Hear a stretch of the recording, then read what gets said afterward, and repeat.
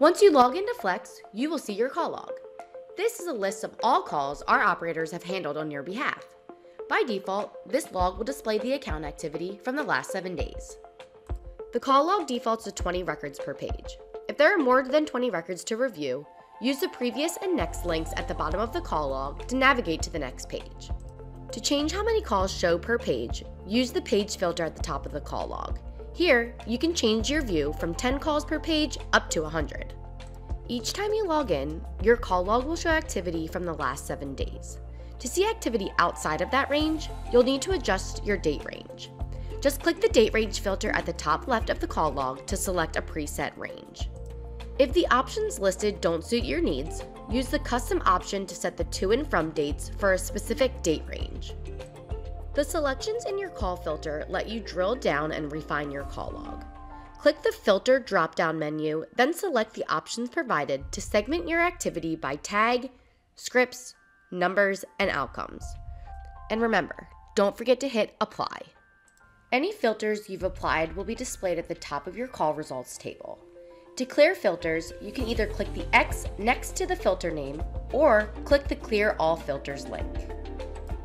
From the call log, you can print or email individual messages or multiple messages at a time. To print a message, select the checkbox on the row of any of your calls you need to print. Then, on the right side of your screen, click the Action button and select Print Message. The same goes for emailing your messages. Start by selecting the checkbox on the row or rows of any calls you are emailing, and use the Action tab and select Email Message.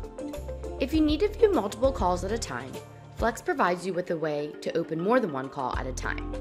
Just check the row of calls you want to open, then from the Action button, click the Tab Call link. This will open all of the calls as tabs in the upper area of your screen without taking you away from the call log. Clicking on a call from the log opens up the full details. This screen shows everything we know about the interaction your caller had with our operator. This includes the length of the call, the script that was used, the number that was dialed, and all of the data we captured during the interaction according to your script. Next to your call details is the Notes tab. Notes can be added to any call by your Flex users. To add a note to a call, simply type a message into the box and then click Save.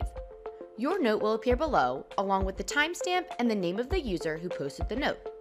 Once a note has posted, other users will have the ability to leave a comment on the note. Right next to your Notes tab will be the Customer History tab.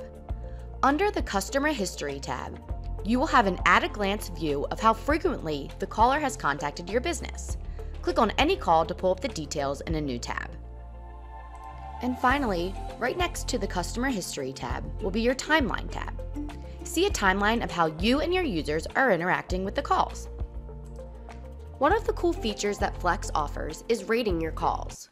To rate your call, start by looking on the right navigation panel for the name of the operator who answered the call.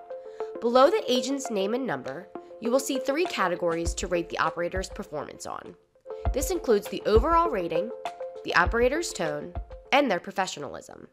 There's even a place to add your thoughts about the interaction. Thanks for watching. Let us know if you should have any questions. Until next time.